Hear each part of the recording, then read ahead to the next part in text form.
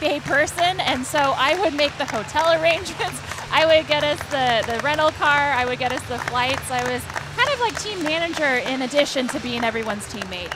Interesting too for Nathan Adrian, yeah, as we get ready for the 200 backstroke, taking maybe a different role as some of the younger core starts to loom large, including a guy like Jacob Pebley, the proud Cal Golden Bear, age 23, fifth in Rio in this 200 backstroke.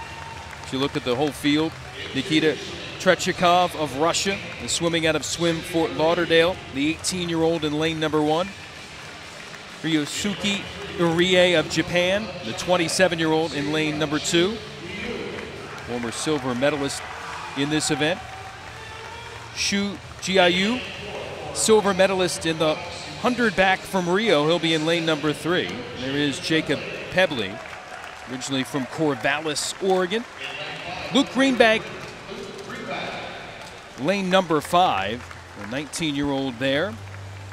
Arkady Vyatchanin, age 32. More on his story coming up as he works towards U.S. citizenship after his time with Russia.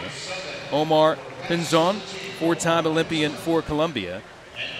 And Paul Lee, swimming out of the Missouri State University Swim Club. He'll be in lane number eight. So here's the field for the men's 200 back. They all enter the pool. Pebley in fifth in Rio in this event. Ryan Murphy, of course, doing the double.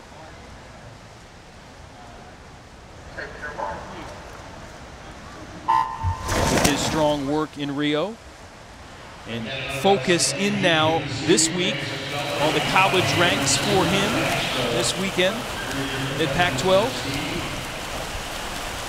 We'll see how Pebley does as one of the front runners in this event. Pebley in lane number four. Right now, lane number three. Xu has the early lead. Has a really beautiful stroke. It, it reminds me a lot of lane two, Irie, who has probably the most beautiful backstroke I've ever seen. Um, but we see in lane three just keeping head still and almost floating on top of the water, doing a really nice job of uh, you know establishing a lead early in this race. Two-time Olympian, two-time World Championship performer for China, has the lead on Jacob Pebley. Rie, lane number two.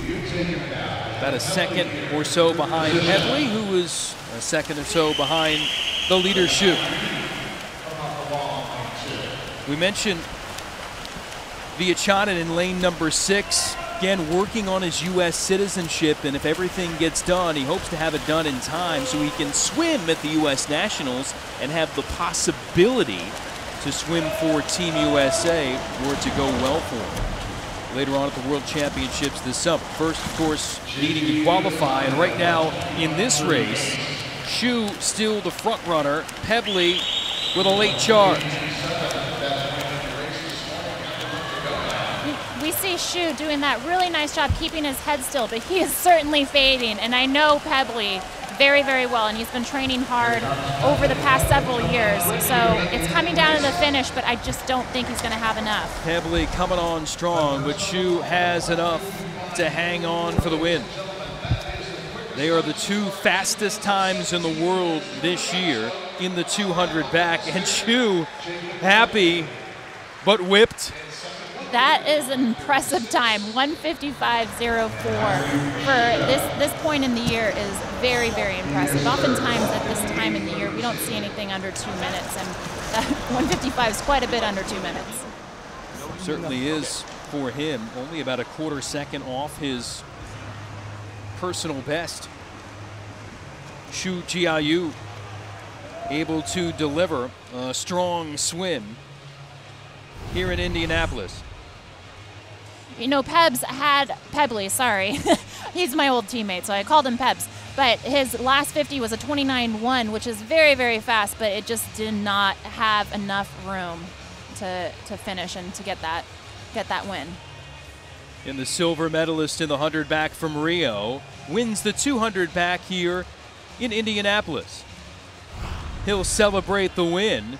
More great action coming up. The 50s on the way for the men and women when we return to Indy in a moment. You're watching NBC SN.